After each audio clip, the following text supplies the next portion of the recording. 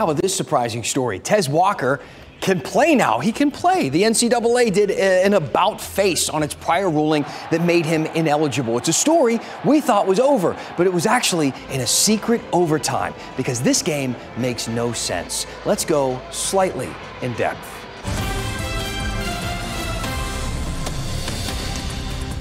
So, Walker, just to remind you, is the UNC wide receiver who became preseason drama when the NCAA benched him for transferring too many times to a bunch of different schools, even though we should say the rule that they applied was approved after his transfers. And one of the transfers was from a school where he never even played a single game of football because of COVID. The details were very confusing and they riled people up, me included. Head coach Mack Brown chastised the NCAA for being inconsistent and out of touch. The university started considering legal action. UNC fans were furious and they were worried about their season. My mom, who doesn't really care about college football, said, Oh, honey, I forgot UNC is by you. Is it nice there?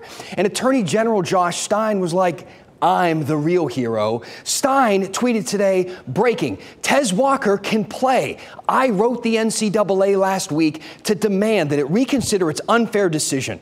I am gratified that it has listened, and I wish this young man nothing but the best. Josh, they added more characters to tweets now. You could have literally just added, P.S., I'm running for governor. Surprisingly, the NCAA didn't mention Stein's persuasion in its statement, but instead fired a few shots across the bow, saying this is all UNC's fault.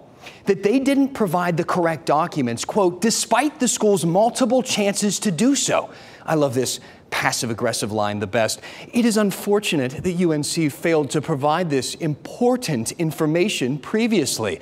Ah, yes, the important information, of course we have to have the important information. You can't possibly go on without the important information, which they never elaborate on at all. No details. Instead, they just go directly back to scolding UNC for being upset about the initial ruling. It reads like a, a script from The Crown.